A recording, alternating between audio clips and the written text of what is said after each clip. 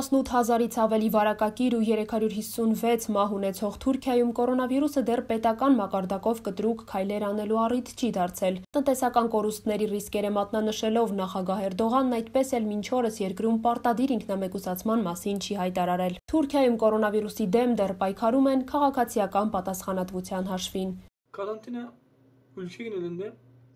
Ինքնամեկուսացման համար մեծ զգուշացումներ են արվում։ Օրինակ, տարեցներին թույլ չի տրվում տանից դուրս գալ։ Բանկերն աշխատում են որոշակի ժամերի և մարդկանց մեկ առ մեկ են ներս թողնում։ Դպրոցներն անցել են հեռավար ուսուցման, համալսարանները նույնպես։ Ինչպես մյուս երկրներում, այստեղ ևս մարդիկ լարված ասում են, թե պաշտոնյաներն ինչ կասեն, ինչ լուծում կառաջարկեն։ Մարդիկ հիմնականում տանն են, այդպիսով նրանք փորձում են իրար նկատմամբ ունեցած հարգանքը ցույց տալ։ Ստամբուլում բնակվող ազգությամբ թուրք Շահան Դոհանը պատմում է, իրենց մոտ այժմ մզկիթներում մեծ խմբով նամազ անելն արգելվում է, սրճարաններն ու առևտրի կենտրոնները փակ են։ Մարդկանց 70%-ը տանն է, դուրս են գալիս միայն սնունդ գնելու, դեղատուն կամ բժշկի գնալու նպատակով։ Խանութներում մեծ հերթեր չկան, սակայն մարդիկ գնում են ավելին, քան պետք է։ Այդպես են անում, որովհետև գուցե հետո պարետային ժամ հայտարարվի։ Անից դուրս գալու համար այժմ թույլտվություն պետք չէ,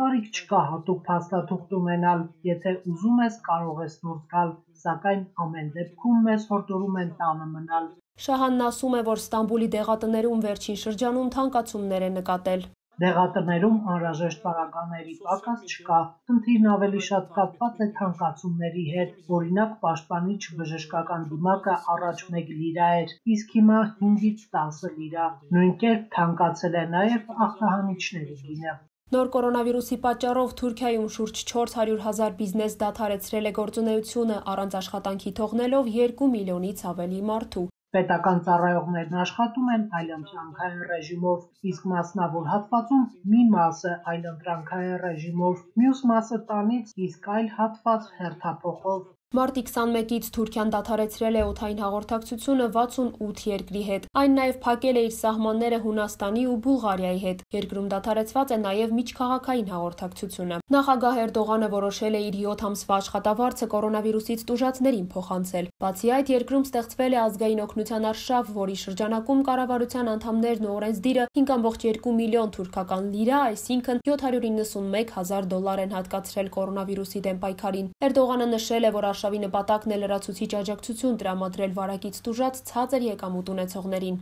Ստամբուլում բնակվող Դենիս Ուհուրն էլ պատմում է ինչպես է անցնում կամավոր ինքնամեկուսացման իր 1 օրը։